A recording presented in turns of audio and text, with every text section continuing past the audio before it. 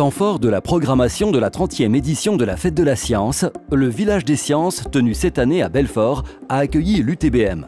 Cela fait partie euh, des, missions d'un établissement comme l'UTBM de participer à la diffusion de ce que l'on appelle la culture scientifique et, technique. Il faut dès le plus jeune âge, de notre point de vue, euh, et, c'est bien ça la diffusion de la culture scientifique et, technique, démystifier, présenter, expliquer, il n'y a pas, pas de magie euh, derrière, et petit à petit, eh bien, peut-être redonner le goût à, la technologie et, à la science d'une manière plus générale, d'une manière plus et ensuite, on a injecté un peu d'air dans la ventouse et hop, ça se relâchait.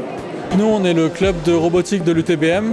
Donc, on présente. Euh, du coup, notre objectif, c'est de présenter des robots à la Coupe de France de robotique. Et puis après, du coup, on fait des mini-formations en électronique, etc. à côté pour pouvoir former un petit peu les gens et qu'ils puissent s'amuser. On a vraiment dans ce rôle encore de transmission du savoir et d'explication de qu'est-ce que la robotique et comment ça fonctionne.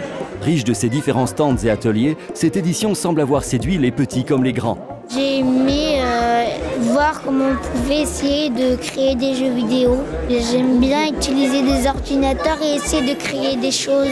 Ce genre d'initiative, c'est vraiment très très bien pour sensibiliser euh, le grand public dès le plus jeune âge euh, à la science. Je viens de faire un, programme sur le logiciel Scratch pour faire passer le chat dans un labyrinthe. Ça pourrait donner envie de coder chez moi. J'ai testé un, un casque euh, comme la réalité augmentée et c'est trop bien parce que dès que tu regardes dans le casque, et eh ben, tu as comme des robots, euh, tu peux les utiliser et c'est trop bien.